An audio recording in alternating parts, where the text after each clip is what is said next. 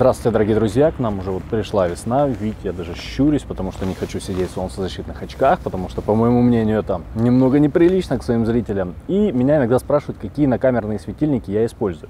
Сейчас речь пойдет о именно том переносном свете. Это не касается съемок студии, когда мы используем там большие светильники, там с зонтами какими-то или софтбоксами. Я начну со старых светильников, которые остались у меня от прошлых камер, для которых требовалось много света для съемок в темных помещениях. Самым первым светом это у меня был LED 160.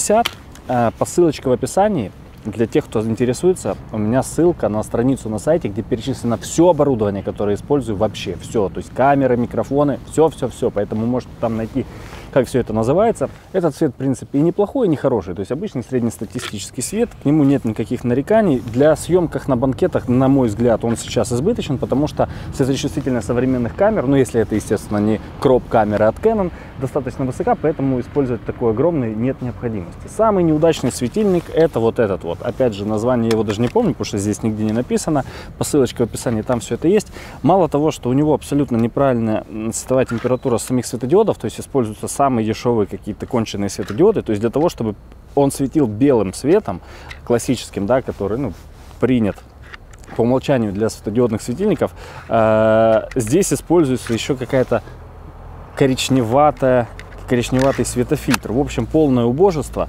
Мало того, что сам диммер, э, регулировка яркости осуществляется очень плохо, то есть по факту у него есть два э, положения. Светит ярко, светит очень слабо и выключен. Вот он светит максимально ярко, вот я кручу диммер и ничего не происходит, а потом он становится, становится светить очень слабо и потом просто выключается. Э, и мощность его очень слабенькая. Ну вот, я думаю, даже на этом ярком солнечном свете вы поймете, что светят они совершенно по-разному. Но если вы прочитали название, вы увидели, что у нас тест называется «Обзор светильника». Я с трудом это могу выговорить. Yongnuo, Yongnuo Digital YN300. Вот этот светильник. Почему я решил рассказать подробно о нем? Их я купил самыми последними. Этот светильник э, на данный момент стоит достаточно дешево, то есть его стоимость менее 4000 рублей. Раньше эти светильники стоили значительно дороже. И у меня их три штуки. Мне он очень нравится для съемки, ну, если нужно быстро создать какое-то интересное освещение для съемки в помещении, то есть благодаря наличию шторок мы можем засвечивать очень узкие участки и создавать какой-то там художественный свет.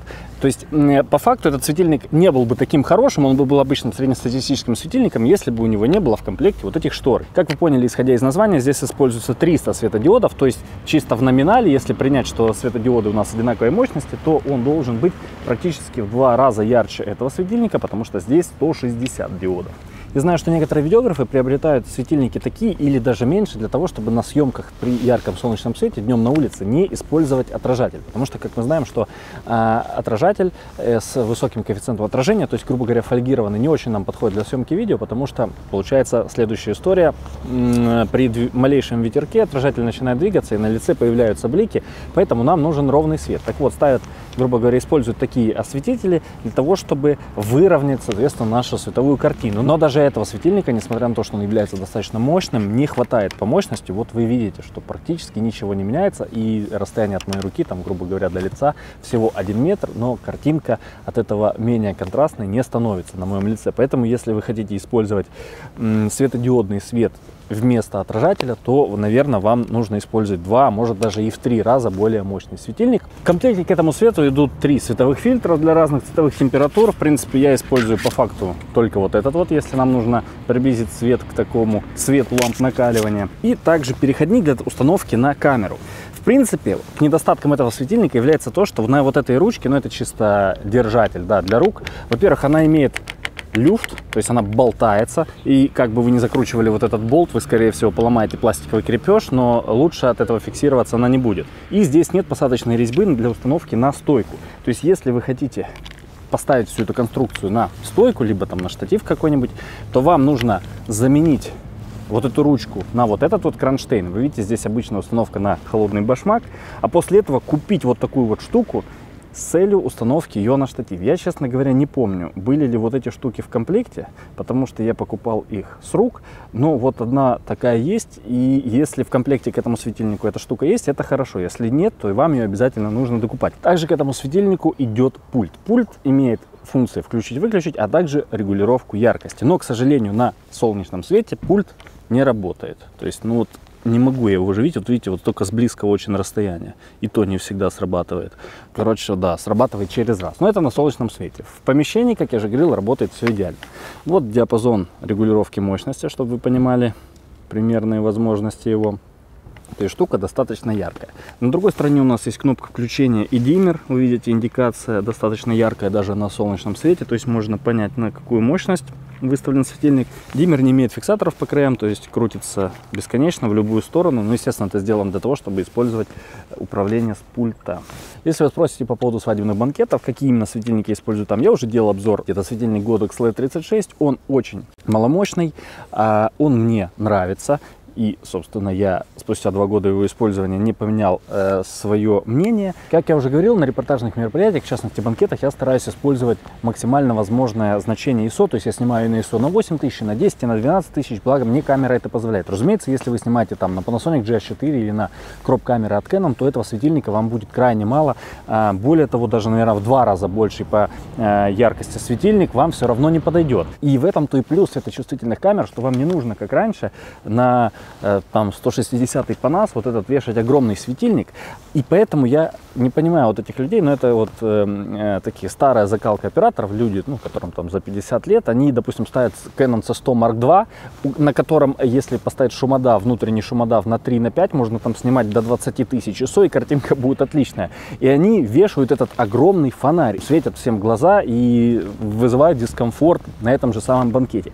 Поэтому я этот светильничек использую только для легкой подсветки. А вот, например, если у нас большой зал, либо зал неравномерно освещен, то как раз таки по углам зала мы ставим вот эти вот штучки. И вот тут вот есть э, как бы еще один недостаток у этого света. У него нет дырки под разъем питания. То есть по факту вы можете запитываться только от аккумуляторов. Ну, он идет в комплекте, это обычная соневская батарея.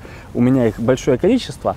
В принципе, для свадебного банкета это может даже и хорошо, потому что чем меньше проводов болтается под ногами, тем меньше вероятность, что их кто-то зацепит. Но если вы снимаете, к примеру, с этими штуками на студии, то постоянно заряжать достаточно емкие эти аккумуляторы, это не очень удобно. Также, что еще хотел рассказать. Вообще все вот эти вот фонарики, даже несмотря на то, что у них впереди стоит э, такое расфокусирующее стеклышко, да, то есть, ну, вы видите, да, что оно слегка замутненное, все равно они дают очень резкий световой поток. Как делать мягкий свет?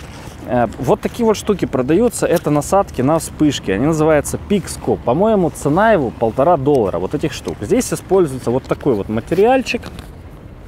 И я просто-напросто, ну я вам показываю целую, когда, допустим, я хочу, чтобы у меня был мягкий свет, я вот эту штучку обрезаю и просто приклеиваю, к примеру, на скотч. Ну, сейчас вам достаточно плохо видно, потому что солнце яркое. В общем, это световой поток, так судя по ощущениям, уменьшается раза в два, но зато свет получается очень мягкий, такой объемный. И вы, в принципе, можете устанавливать светильники достаточно близко от снимаемого объекта, в том числе и для съемки каких-то натюрмортов, там всего такого, и свет получается действительно очень хороший. То есть вот эти штучки идут просто как расходный материал. Вот, собственно, все светильники, которые я использую в работе для съемок на выезде, для каких-то репортажных съемок и для каких-то несложных постановочных съемок. Как я уже говорил, ссылочка на все мое оборудование, которое использую внизу под этим видео, поэтому не задавайте мне больше этих вопросов. Там и про штативы написано, и про штативные головки, и про все, все, все, все. Подписывайтесь на канал, подписывайтесь на инстаграм, заходите на сайт. Всем пока, друзья, до новых встреч.